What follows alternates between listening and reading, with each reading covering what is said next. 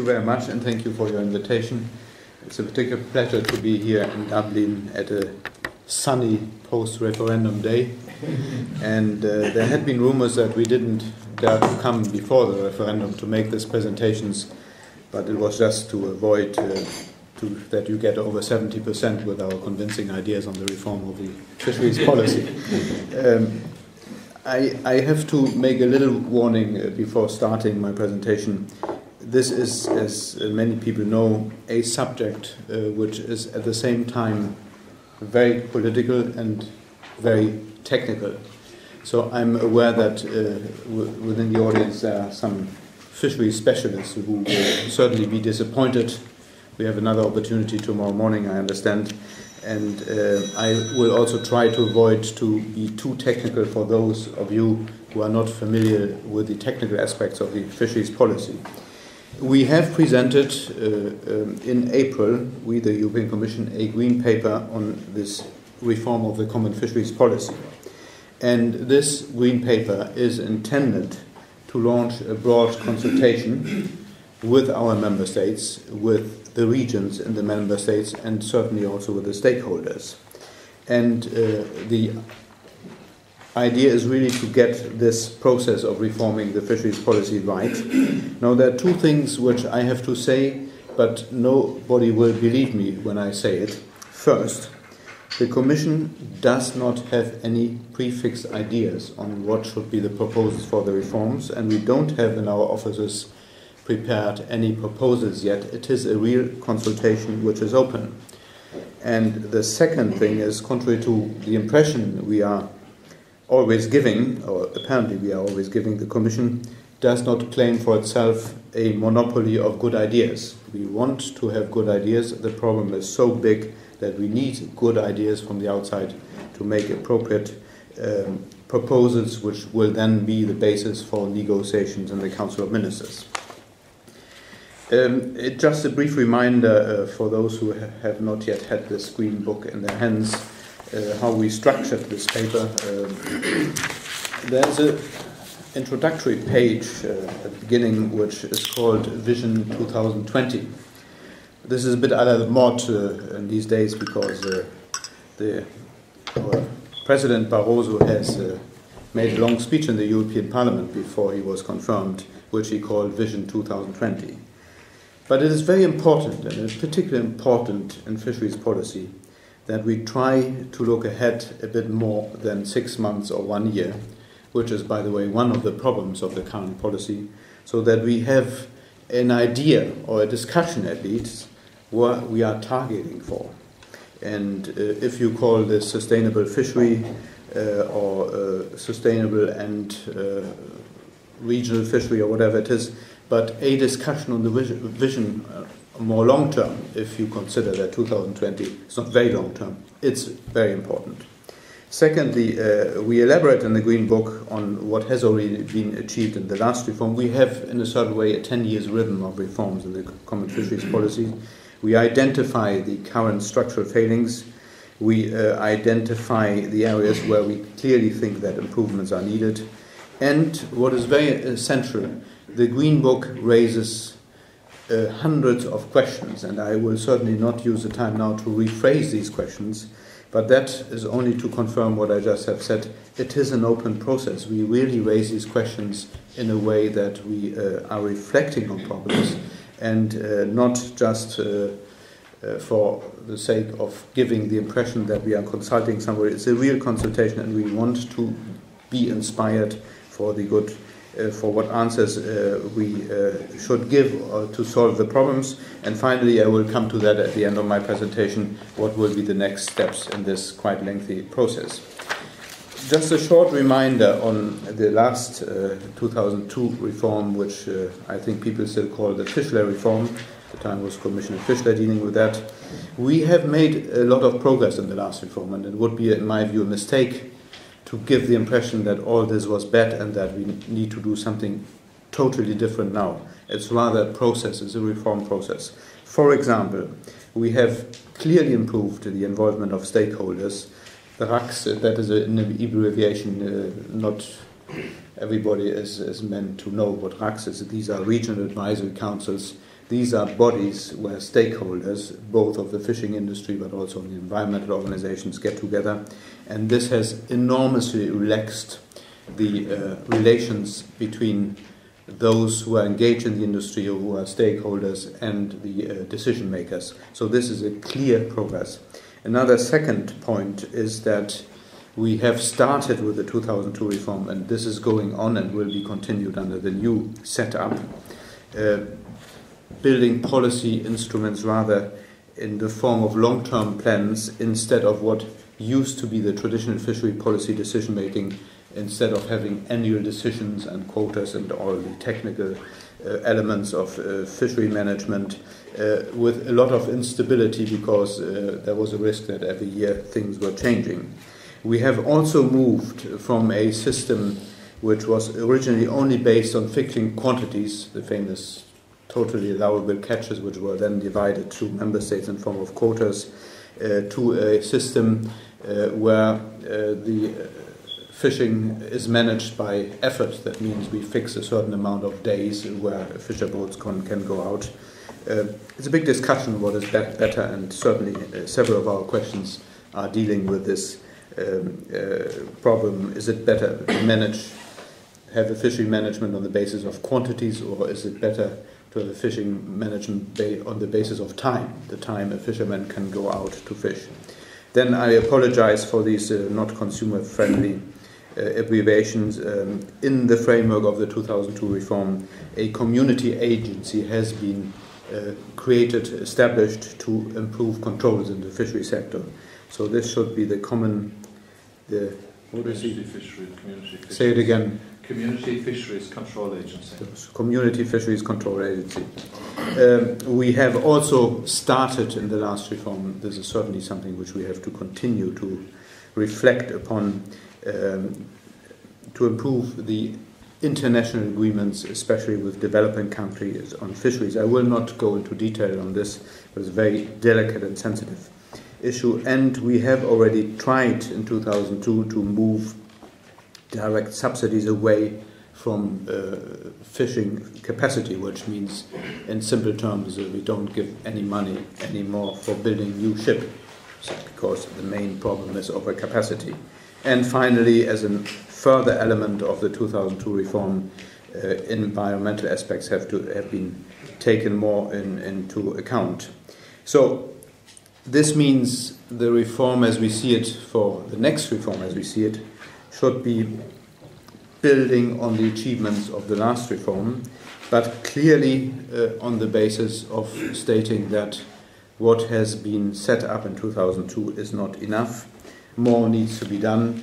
And uh, I have the impression, after a few months of consultations of stakeholders and member states, that everybody agrees on this statement. Uh, there are heavy disagreements on what needs to be done and how much needs to be done, but uh, I think there's a broad uh, understanding and agreement that the current instruments are not enough to solve the problems in the fishery sectors. So I think it is fair to say that we need a reform and we need, you could also say, a radical reform of the current setup. Why? We have overexploitation of stocks, still 86% are beyond the environmentally tenable limit of sustainability. We have insufficient supply of our own fishery products on the European market. 60% of our fish consumption is imported from third countries. We have, and that is probably the biggest problem, a clear overcapacity of fishing fleet. We have poor profitability, profitability uh, low prices, by the way, um, on fish products. Um, the sector is heavily, still heavily subsidized directly and indirectly. And uh, we get information from several member states that the costs of public management of the current fishery policy uh, sometimes exceeds the value of the landing of fish. So that means that the administrative costs to run this policy costs more than you get out as profit on this sector. You can, of course, uh, immediately react to this uh, and saying this is only a proof that we are over bureaucratic and we should leave more for the, to the market. But it is a problem. I'm not. I'm not sure if we have any other economic sector within the EU where you could make such a statement. And uh, it is clear that uh, everybody is also unhappy on uh, a very complex policy setup, uh, which is complex for public administrations. It is certainly also complex for those who have to live as economic operators under the current rules. Um, there's a lot of micromanagement.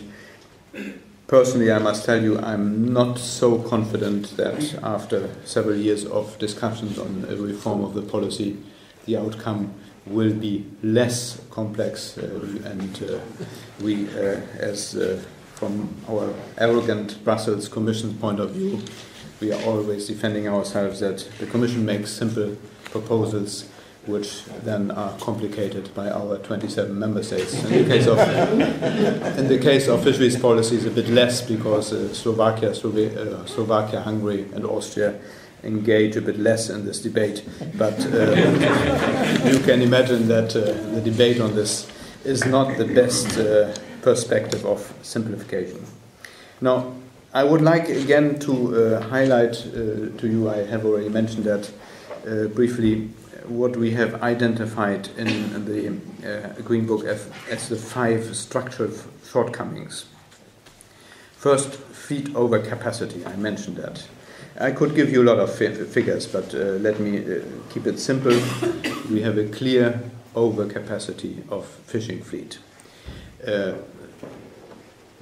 we have already in the discussion on the Green Book, we are facing uh, uh, a predictable situation, I must say, that most of our member states agree with this statement, but they start to disagree that the overcapacity is in their country.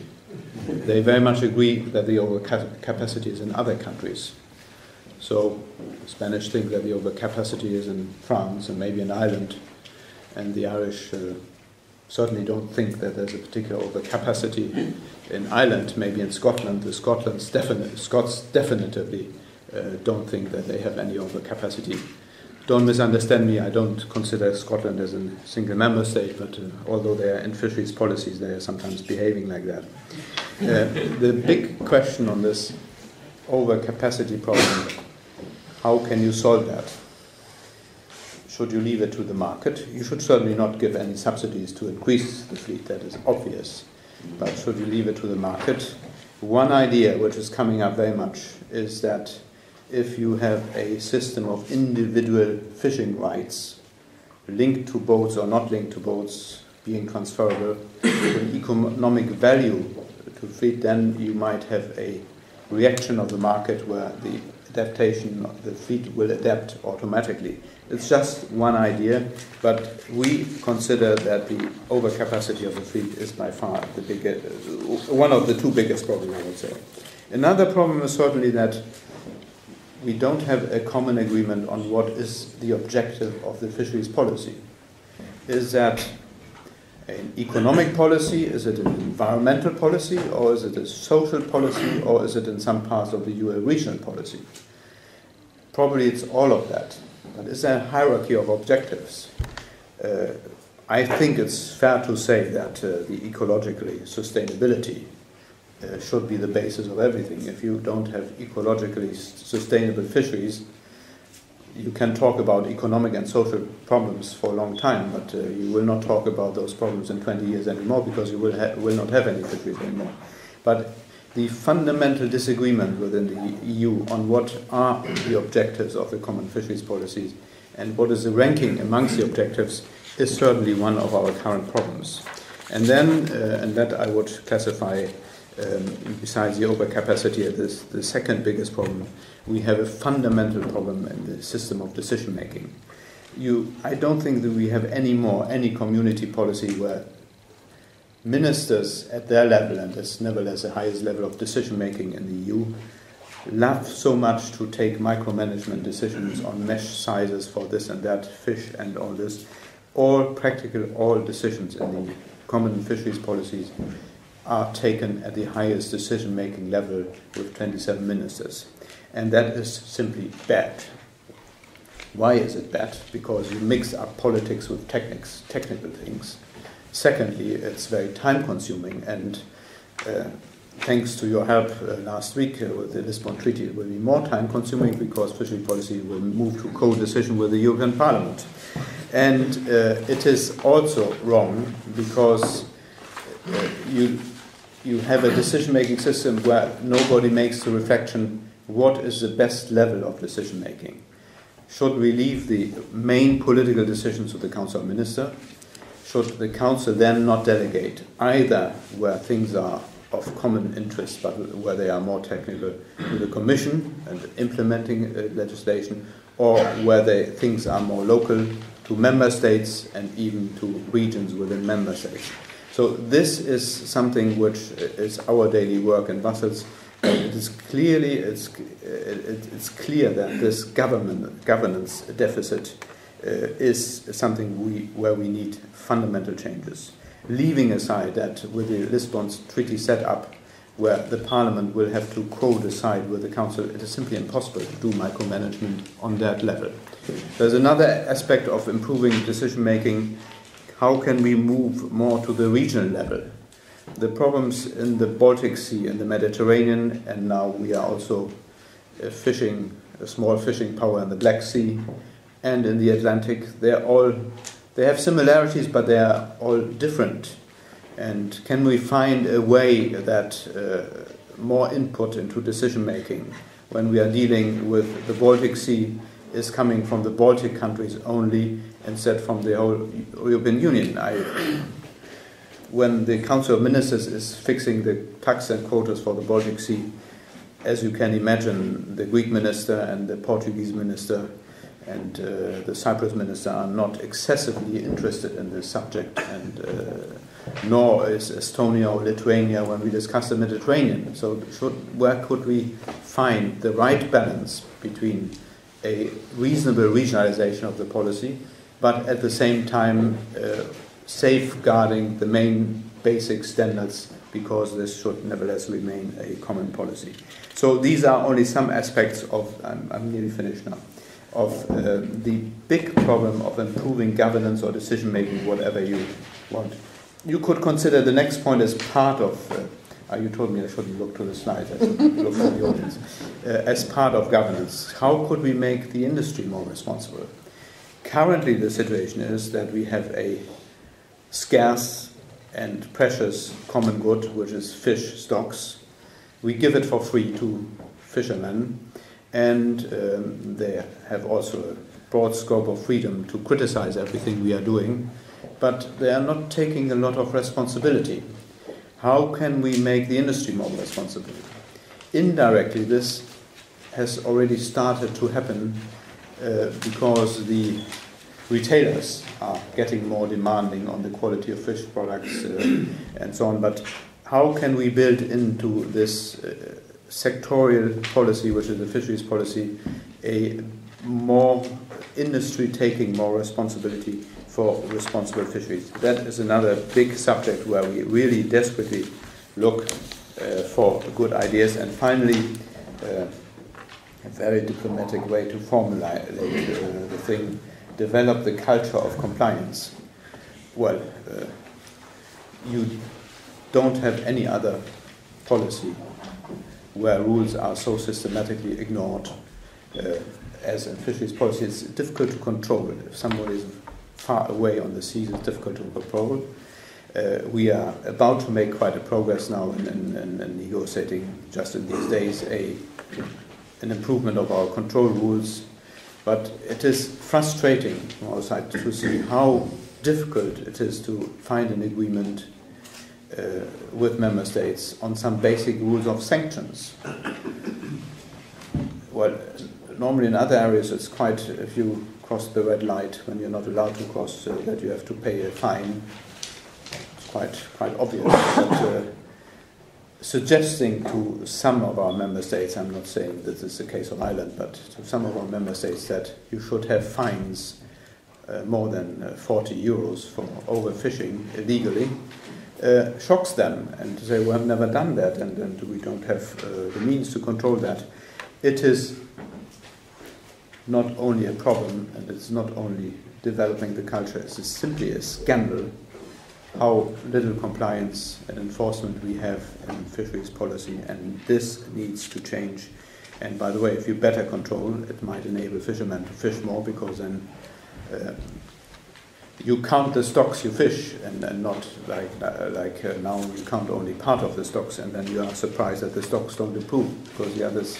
And we have examples. I will not give any example, uh, concrete examples where we have examples where some quotas are overfished, not 10% or 20%, but 100 or 200%. And uh, there again, member states' attitude is very much yes, this is a problem, but it's a problem elsewhere, not with us. Okay, we, we, uh, we, we, are used to these arguments, but uh, I'm afraid to a certain degree and to different degrees is a problem everywhere. Now, uh, to just, uh, I will not run through all these bullet points, these are just some themes just some themes of discussions. If I could just uh, pick out of this uh, attractive list of things, each of this point would merit half an hour of explanation. The first point, differentiated regime for small-scale coastal fleets. That will be a very big and very controversial debate. Would we be able to solve some of our economic and social problems in suggesting different rules for what we call the big industrial fisheries and what we call the small scale coastal fleets. Looks extremely attractive. In my home country, Germany, we have a saying uh, also, uh, if I may, also small kettle makes shit, which means uh, you, if, you, if you go in this direction, you should not end up in having so many small scale coastal fleets exempted from the normal rules that the problem of fish stock is not solved. That is very difficult discussion. The most difficult issue in this discussion is where can you draw the borderline? Something which is small in some countries is very, very big in other countries. Should would we not need a common borderline, or could we leave this to members? A very difficult issue. Then the third point is something which fishery non-experts might uh, not understand because either something is stable or something is relative. but relative stability is one of the big document, documents of the of the fishery policies, and uh, I tried. I hesitate in the presence of so many experts to explain it in a simple way. When the system of quotas was set, set up, we set up uh, quantities for e for each fishery to be fished and fix them every year.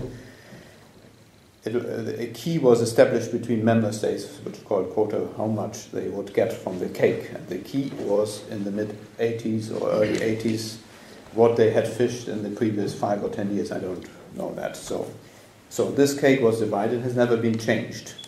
And, um, but reality has changed. There are member states who uh, get quotas which they never use. They use 60 or 70 percent and there are others who uh, would like to have much more because their fleet has developed.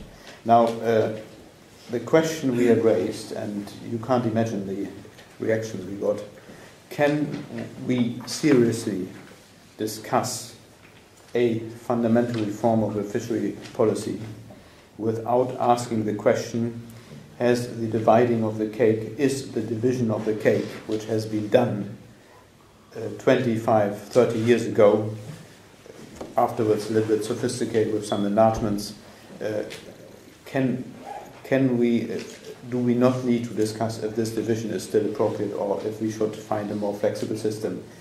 We are not suggesting that we drop all this, but we are suggesting to discuss it. That is uh, our modest, uh, modest uh, suggestion. Then the la two last bullet points, and then I will be finished. We have, of course, in fisheries policy a very important external dimension. Fish is moving around, it doesn't take uh, care of territorial or waters or economic zones. So it is very important to get into perspective also what our partners, for instance, in the Atlantic are doing, and it is important also to reflect on um, the fishery partnership agreements, which is a sort of uh, development aid scheme, which is extremely controversial and very heavily criticized by envi environmental NGOs. And last but not least, uh, another abbreviation, I apologize, integration into the integrated maritime policy. The policy development as a whole is going in the direction to see the maritime issues not in an isolated way, not fisheries, not transport, not environment, not energy, but rather to reflect on how can we do an integrated policy approach in the various regions. For example, the Sea has, I could imagine, fisheries problems, environmental problems. It's probably a very a place of very dense uh, traffic and, and so on. And how could we promote from the European perspective, but then leave uh, to a large extent to member states and several member states a more integrated approach to uh, policy making, uh, in which, of course, fishery would be a very important part.